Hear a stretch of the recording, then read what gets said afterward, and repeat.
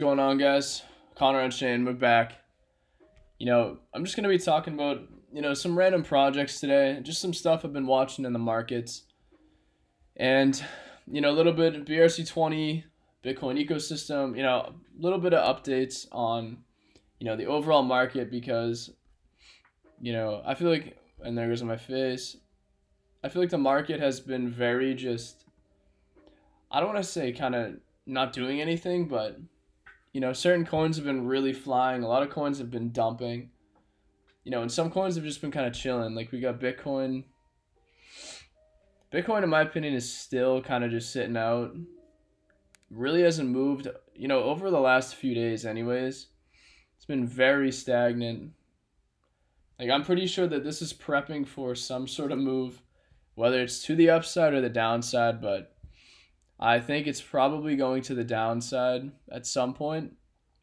You know, that's kind of my bias here, but you know, we'll see what happens with it. I think if crypto can drop a lot more and or Bitcoin itself decides to dump, you know, we could see insane entries.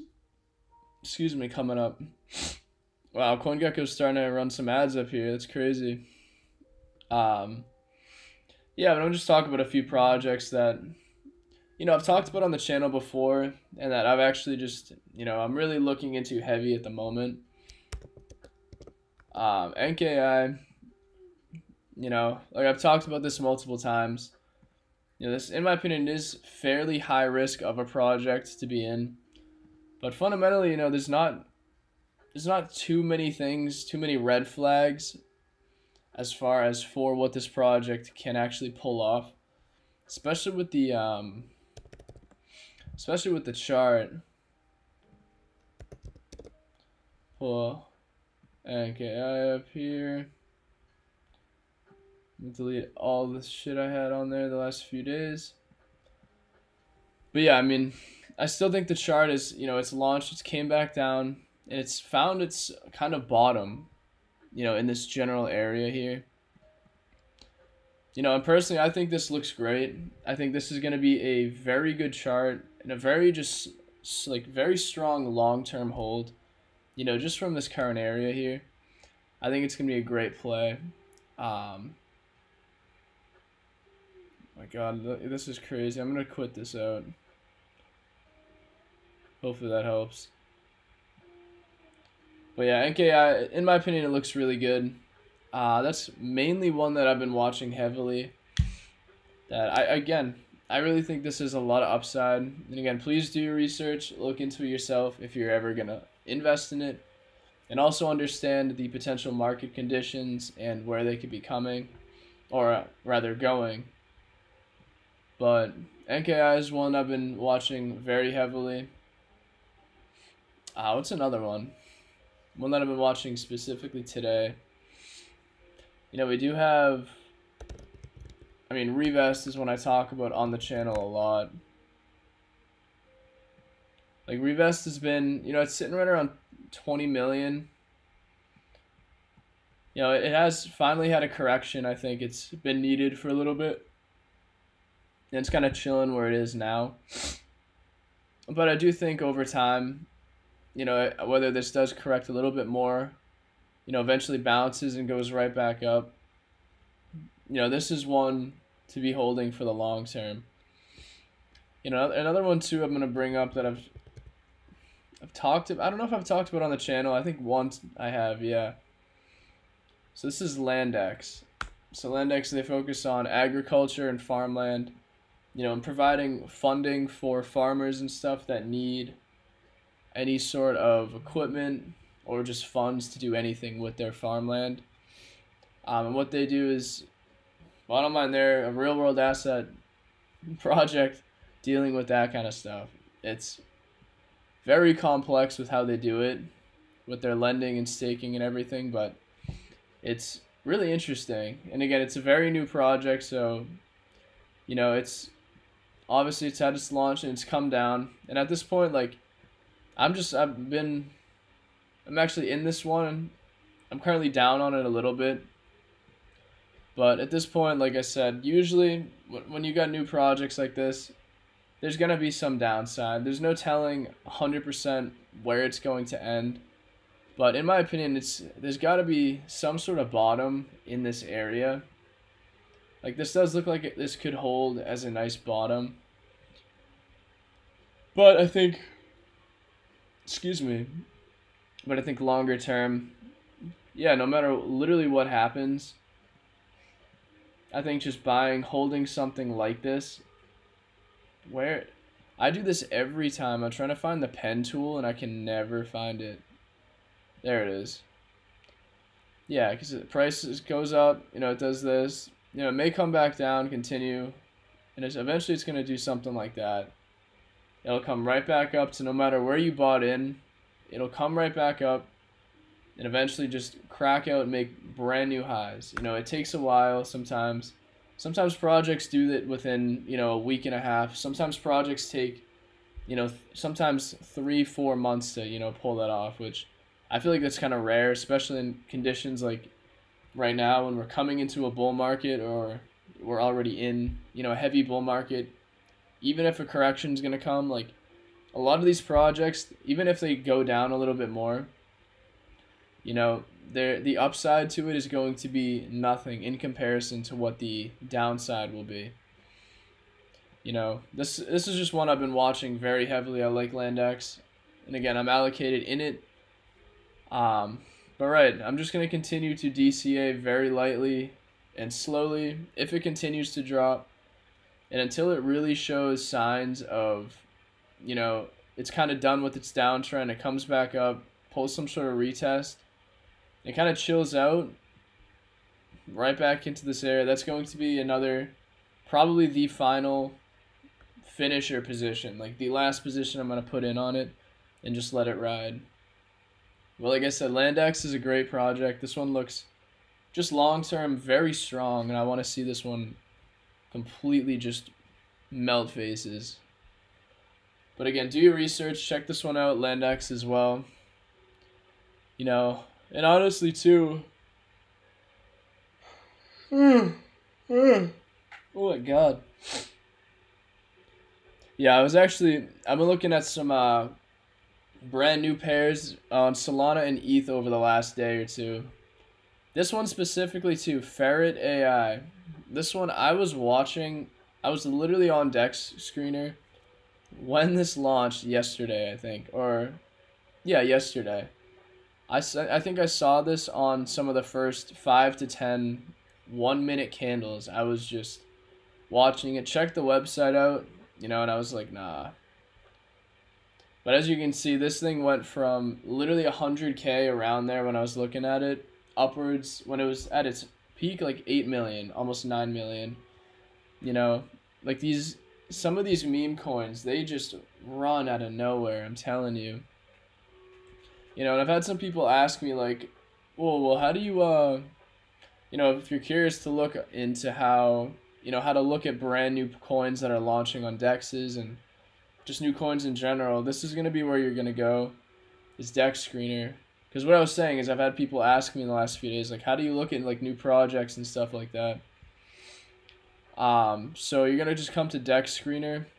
At the top, it's gonna automatically show like trending coins and stuff. Um, but what I usually do, why am I like blanking out? Oh yeah, go to the main menu. So main menu is just gonna have a list of random coins. So what you're, you're gonna want to do is I usually will hit whether trending quick. I usually will just do either let's say 24 hours, and then we're gonna hit the new pairs tab. You can find the new pairs tab right there. Or if you just go here, oh, I was like, there it is. So when you're on the Dex Screener main page, just go to the new pairs button right here. So now you're on new pairs for whatever, the day, the hour. So now you can sort it by however it is, by the price, by the age, the buys, sells, volume. But if you're looking for brand new pairs, as in the literal second, what you're going to want to hit is when you're in the new pairs tab, hit newest here. And then you're going to want to filter it by age. Because and now the age is going to show you, literally like by the minute, these new pairs that come out, these new coins. you know, and according to where they launched, like as you can see, this one's on Solana, Solana, this is on Binance, and then it shows you like the DEX or where it's actually launched. So this one's on PancakeSwap. You could buy this right now. Don't buy it. I don't know what the hell it is. It's probably a rug. Um, but then you got this one here, launched on Solana. The pool, liquidity pool is on Raydium. Same thing here, another one. But then also you can filter it. Once you have new pairs, you hit the newest tab, you filter it by age, and then if you want to filter it by chain as well, you want to go to the top here, you could hit ETH. So what now what it's filtered as is you're only seeing new ETH pairs that just launched, you know, as recent as possible. You know, there's a a bunch of new ones that just launch all the time, you know. But sometimes it's I wouldn't recommend just, you know, sitting at your screen watching these 24/7, but you know, sometimes you can find really good projects very early, like literally within minutes from when they launch.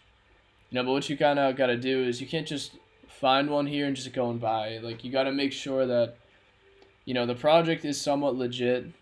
And but the thing is, is when it's that early, it's it's kind of hard to tell. Like you're really taking a gamble when you're doing something like that.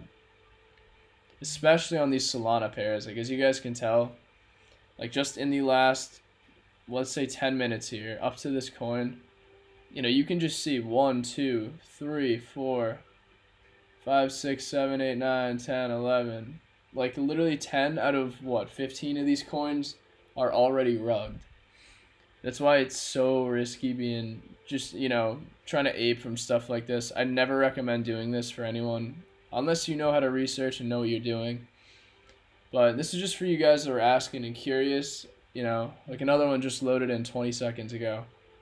E grands. But like I'm not gonna buy that. Like, I swear, some of these memes, like these people just create random tokens, like baby dog whiff. It's like, bro, who is gonna buy that? Used crazy shit, magic cat, like.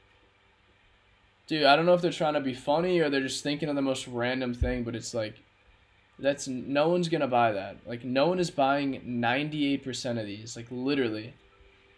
Like I don't know. Uh, it's the bar is so low. These meme coins too. I swear.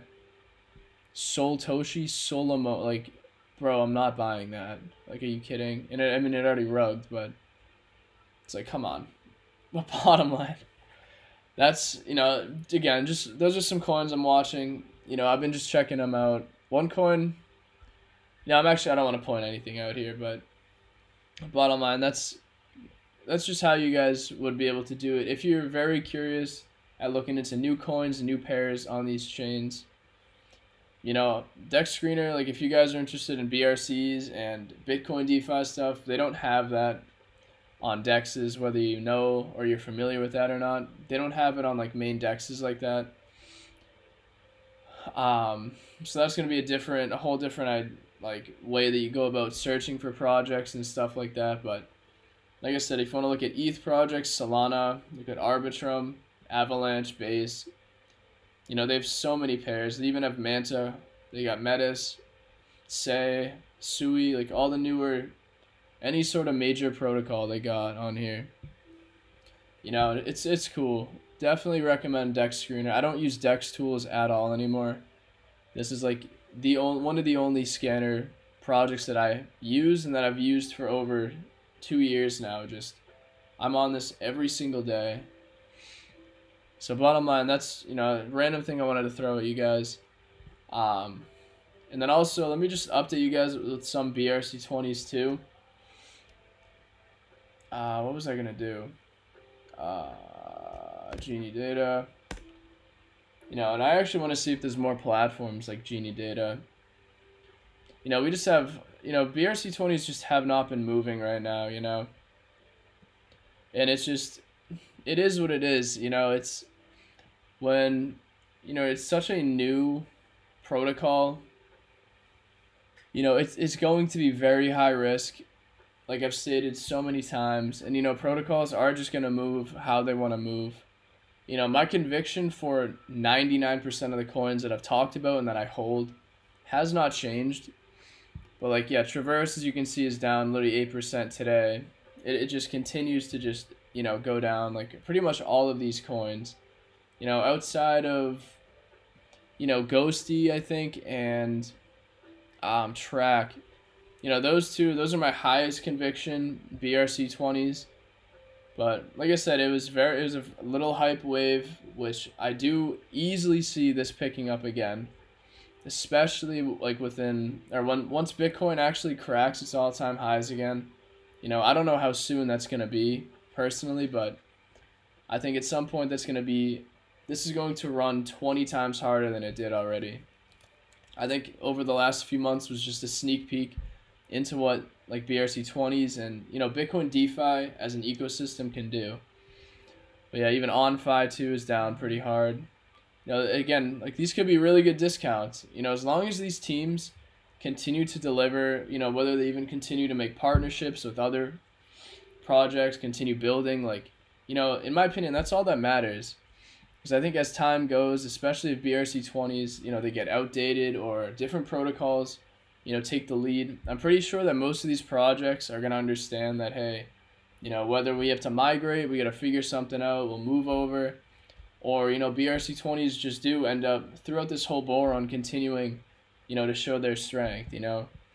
But bottom line, like, I, I don't care, like, good or bad, what people talk about with anything Bitcoin DeFi. Like, in my opinion, it is so here to stay, and it's still going to be one of the most insane narratives for the bull run you know, and even ordinals too. I'm about to drop an ordinals videos uh, tomorrow, just talking about like some top collections on ordinals, and you know a couple other projects too. But yeah, for the most part, like I said, I've talked about a bunch of different BRCs, BRC twenty coins over the you know the last couple months, but you know Turt, um, dot com, you know movies another one. Like those are some probably the three biggest ones in my opinion, and Trac. Those are the four biggest ones. Even though Trac is not listed on like an ETH exchange or anything like that yet. Or you know what I think it is. It might be on like Gate.io or something. I don't even know. But bottom line, like those are I think the four biggest ones that are going to do unbelievable still. And you know, there's a lot of like lower cap, micro cap ones, but you know, at this point, I'm just slowly watching a bunch of these, you know, as time goes on. Because for me, it's like, I don't want to just call coins for anyone and everyone. Like, I'm not, you know, I'm trying to find really good projects, you know, to just long term hold and ride out. Like, I'm not, I'm not a person to just make quick calls every day. Like, that's not, that really just isn't who I am. You know? Um, but I, again, I do believe in this whole ecosystem and you know, my research here is mainly just for, you know, looking for those absolute long-term gems. And there are so many out there. And I think, you know, I, I'm, I will make a video soon talking about the best, you know, gems just across, you know, it's going to be multiple meta protocols and mostly BRC20s, but really good protocols that I can see, you know, having a very good long-term growth, you know, just over this bull run. And I think I think it'll be huge, you know. Because, like I said, I'm invested heavily on anything Bitcoin, anything ETH, and even like a little bit of Solana right now. But mainly, ETH and Bitcoin are the main two chains that I focus on very heavily investing in. Um, so bottom line, that's kind of what I wanted to bring up today. Just you know, just talking about some stuff, random stuff in the market, and you know, I'll see you guys in the next video.